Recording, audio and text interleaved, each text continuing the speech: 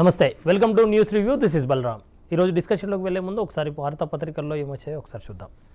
వార్తాపత్రికల్లో చూసుకుంటే ప్రధానంగా ఈనాడు చూసుకుంటే కేటీఆర్కి సంబంధించిన మీట్ ది ప్రెస్ కార్యక్రమంకి సంబంధించిన వార్త కనిపిస్తుంది. పదిహేనేళ్ళు కేసీఆరే పార్టీలో అందరి కోరిక ఆయనే సీఎంగా ఉండాలని ఎన్నికలు ఇచ్చిన ఎన్నికలు ఎన్నికల్లో ఇచ్చిన ప్రతి హామీని తూచా తప్పకుండా అమలు చేస్తాం. జాతీయ రాజకీయాల్లో నిర్మాణాత్మక పాత్ర పోషించబోతున్నామని చెప్పంటూ ఒక వార్త కనిపిస్తుంది.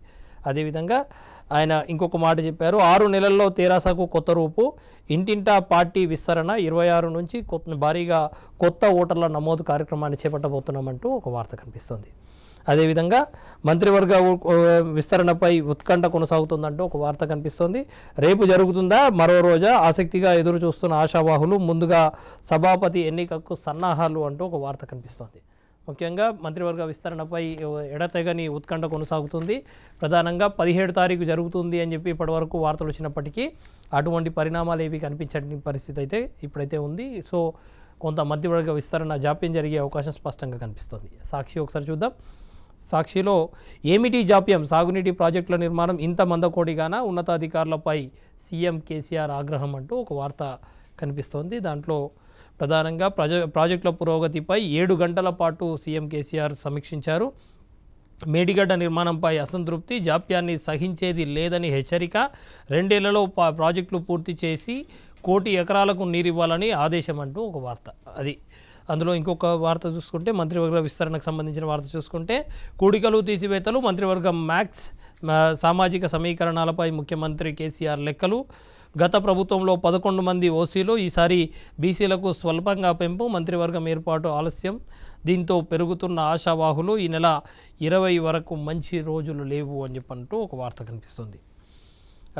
తర్వాత ముంచుకొస్తోంది అంటూ ఒక వార్త కనిపిస్తోంది. ప్రధానంగా ఉత్తర కోస్తాకు సంబంధించిన పెతాయి తుఫాన్కి సంబంధించిన వార్త ఆంధ్రప్రదేశ్తో పాటు తెలంగాణలో కూడా తుఫాన్ ఎఫెక్ట్ కనబడబోతోంది. అందుకోసమే దానికోసం సంబంధించిన ముంచుకొస్తోంది పెతాయి అంటూ ఒక వార్త కనిపిస్తుంది. ఆంధ్రజ్యోతి చూస్తే ఆంధ్రజ్యోతిలో ఇదేం జాప్యం అంటూ సాగునీటి ప్రాజెక్టులకు సంబంధించిన అధికారులను ఉద్దేశించి కేసీఆర్ చేసిన కామెంట్ ప్రాజెక్టులన్నీ రెండేళ్ళలో పూర్తి చేయాలి పనుల్లో ఆలస్యంపై కేసీఆర్ ఆగ్రహం అంటూ వార్త కనిపిస్తోంది. అదేవిధంగా పద్దెనిమిదిన కాళేశ్వరం పరిశీలనకు సీఎం.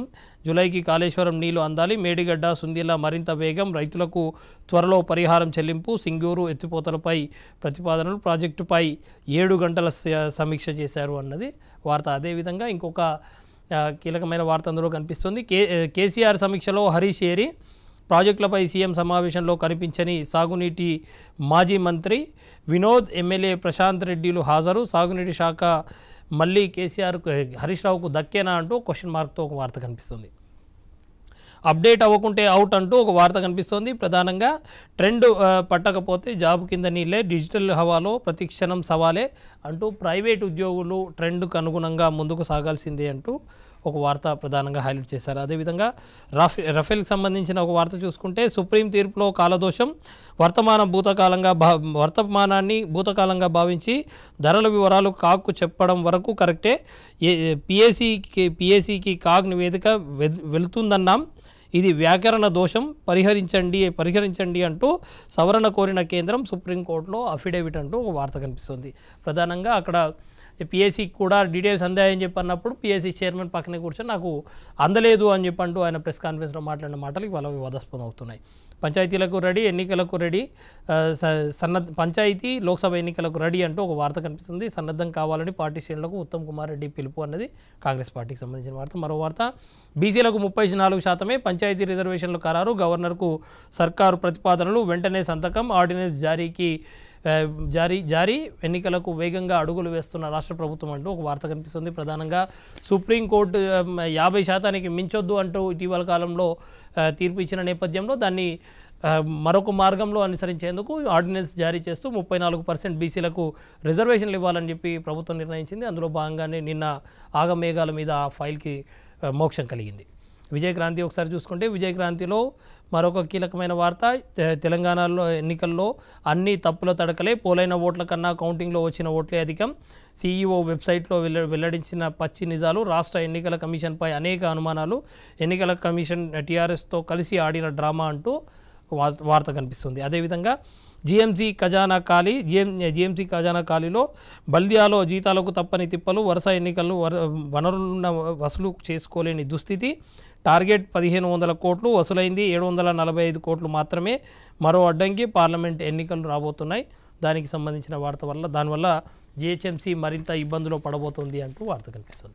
వెలుగు ఒకసారి చూస్తుంటే వెలుగులో బెట్టింగ్ స్ప్రే లగడపాటి సర్వే వెనుక పెద్ద కుట్ర బాబు కార్యానికి తోడుగా వేరే లక్ష్యం బెట్టింగ్ మూటాలకు కలిసి వచ్చిన ప్లాన్ కూటమి గెలుపుపై తప్పుడు సమాచారం నమ్మించి నమ్మి వందల కోట్లు మునిగిన జనం రాజగోపాల్ తీరుపై అనుమానాలు అంటూ ఒక వార్త కనిపిస్తుంది. ప్రధానంగా బెట్టింగ్ మాఫియాలో భాగంగా అది జరిగిందా అన్న ఒక అనుమానాన్ని కూడా రేకెత్తించే విధంగా వార్త కనిపిస్తుంది.